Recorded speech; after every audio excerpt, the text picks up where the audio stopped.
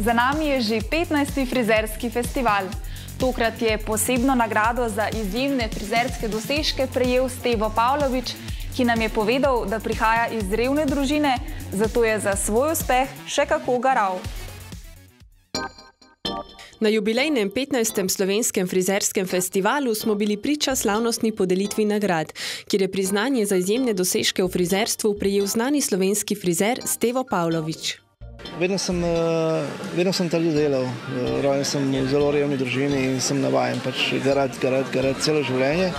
In kaj drugega razen dela niti ne poznam. uh, je pa to tudi delo za mene predstavlja en velik užitek. Ne. Tako da ta priznanje na nek način ena taka satisfakcija, ena potrditev, da to, kar sem delal do zdaj, je bilo v bistvu v pravo smer. Ne.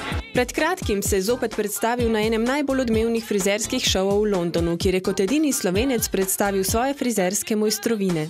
In obenem bi lahko rekel, da je tudi del moje poti on tudi eh, opravljal v Londonu. Skratka, mm, mali mož, veliki frizer. Frizerski trendi za letošnje leto temeljijo na pastelnih barvah, hkrati pa je vedno večji poudarek na tistih organskih, ki ne škodujejo lasem in lasišču. Prav Kene, ki je v svetu vodilna znamka barv za lase, se lahko pohvali široko izbiro leteh in z njihovo inovativno tehnologijo.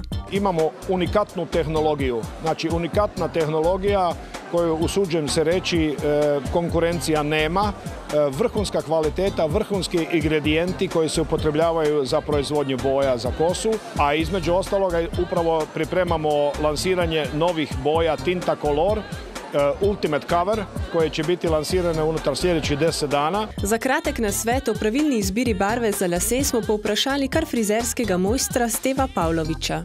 Barva oči je ena od stvari zelo pomembnih, uh, ker se opada z barvo las ne? Uh, in cenom kože. Skratka, to so tri dejavniki.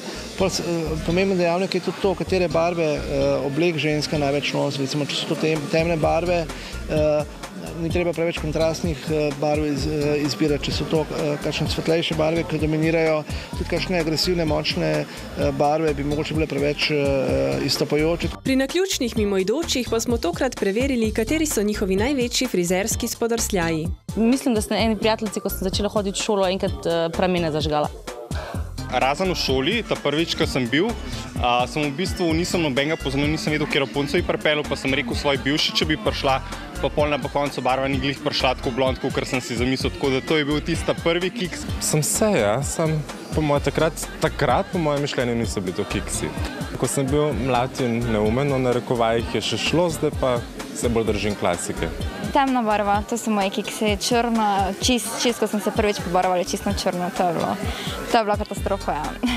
Da bi se izognili takšnim neprijetnostim, svoje lase vsekakor raje zaupajte rokam profesionalnih frizerjev.